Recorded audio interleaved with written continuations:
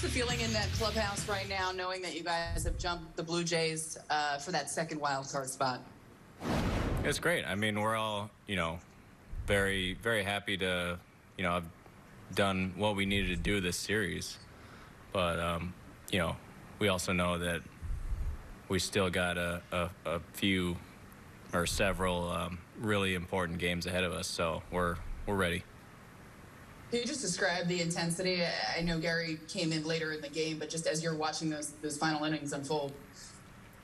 Yeah, I mean that was that was huge for for us. Uh, you know, him coming in and and shutting him down for two or three.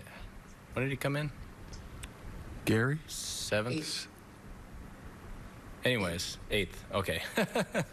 yeah, that, I mean it was huge. Uh, coming in, shutting him down for two innings, and then hitting the homer to add on. Um, you know, he's he when when he's when he's rolling. I mean, we're we're a great team. So, um, you know, it's great to see that swing from him. Seemed like the catchers were a good team in general tonight. You drove in two with the double there in that fifth inning, I believe. Just what was the key for you at the plate during that at bat?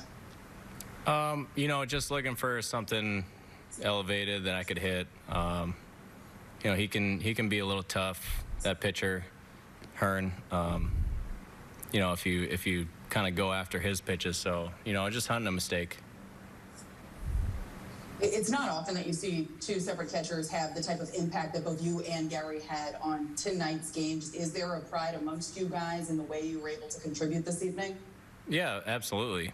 Um, you know, every anytime the the catchers are producing on offense and defense, it's you know we we do take a lot of pride in that. So we uh, you know we're just you know extra extra happy tonight.